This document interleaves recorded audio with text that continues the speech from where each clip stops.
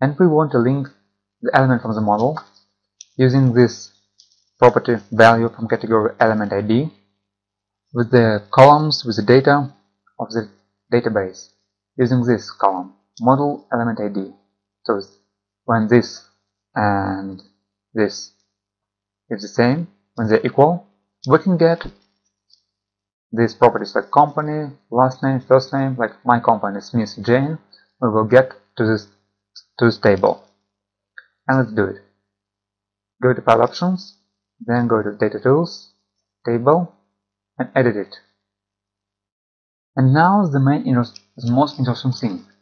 We have to edit the SQL string.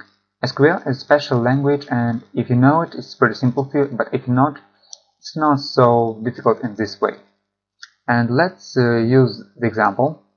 Go to our materials. Here and we have SQL file and then we can take it and then take all this expression then copy it and let's go back to this place and paste it. And now a little bit explanation. Select uh, this and from. This is set expression to work with the access things. Select from and then there's a name of the the table because we can have can have more than one table. One table then could do the second one, the third one, this and more more more tables. So in first one we should we should uh, find the table. Then where is the set expression? Set expression and we want to to send to the network. We need model element ID. This is the name of the column in access. So this one is in this one. It has to be absolutely the same in writing. And then this thing is that expression too, because we want to get the, to use the property from the Navisworks. And this one is that expression to use it.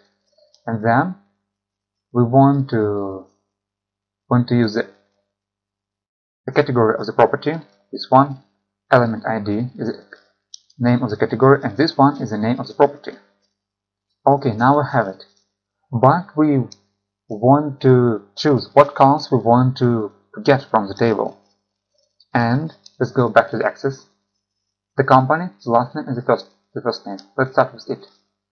And please pay attention that last name and the first name, the, the every word starts with a capital letter, and we have to do the same.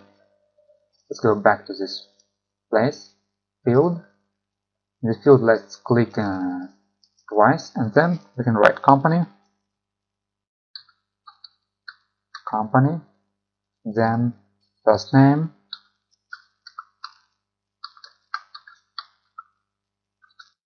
first name, and last name.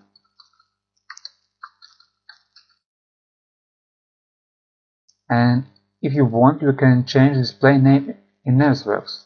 So, for example, let's make this not company, but the factory. Now it's OK. And now we have only to activate it.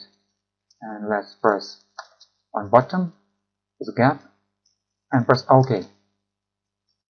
And now we can take it and we have a new category of properties and let's go and let's go. Factory last name first name. And then we're going to find out how to work with the access table with this model